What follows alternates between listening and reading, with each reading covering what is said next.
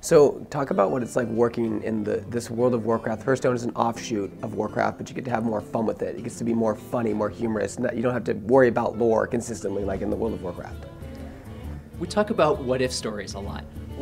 We've got World of Warcraft. We want these things that are plausible but silly and kind of crazy and a little weird. Uh, One Night in Karazhan is a great example of that. You look at Medivh's tower and obviously they threw crazy parties there. And so the Hearthstone universe gets to explore that. And uh, it's cool when WoW picks up some of that in the future. I think Descent of Dragons is another great example of that. What if the WoW universe had kind of a wacky and zany supervillain in Rafaam? What would he do? And obviously he would resurrect the biggest dragon ever. And, and got all his dragon bones up in uh, Icecrown Citadel. Let's let's go there. We got they're all up in Dragonblight. Can you guys talk about the little of the um, evolution of Descent of Dragons and how you know it came from concept to the official title? Because obviously you pull lore and you talk about when to do X, Y, and Z, and then how does that evolve into Descent of Dragons specifically?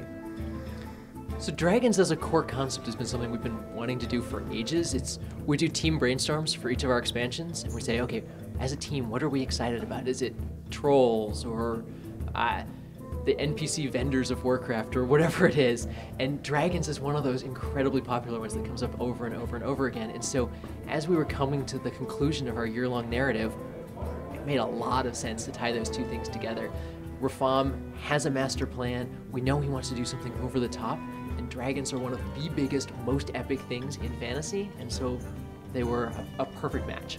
Sarah, question for you. As an engineer, um, as technology advances, obviously ray tracing, mobile chips get faster, uh, uh, devices get smaller or bigger. What are some of the challenges in making sure that you still have a e- even playing field across all platforms, but still Yeah. wanting to push that technology? Yeah, so that's actually like the exact thing that we have a challenge with is like the wide breadth of platforms that we need we need to get this uh, game onto. So right now we're, we're, we support PC, Mac, uh, iPhone, and Android, and all these platforms are constantly evolving, constantly developing the technology, as you mentioned, and um, we have to support different levels of phone too. So like their hardware is something we need to be concerned about. So just having the capability of covering all these cases, making sure we um, have a good, consistent experience on both PC and mobile is very important to us.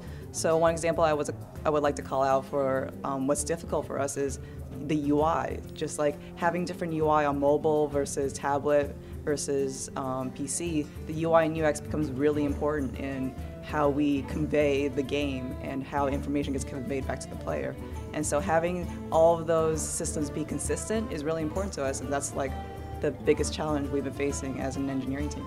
Mobile devices tend to get um, bigger as their life cycle goes on, but do you guys ever get concerned about them getting smaller?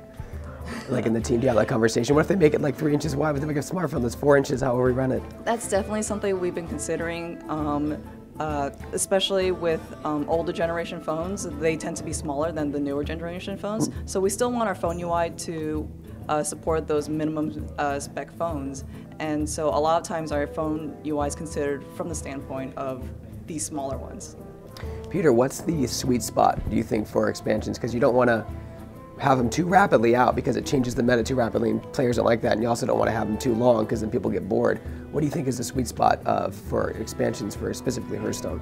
We're still experimenting with that a bunch. I think that three expansions a year has been about right for us. But one of the things we want to do to help with the metagame is look at the events that we've done this year. We've got Rise of the Mechs, we've got the Doom and the Tomb, where we buffed a bunch of cards, we brought a bunch of wild cards into Standard.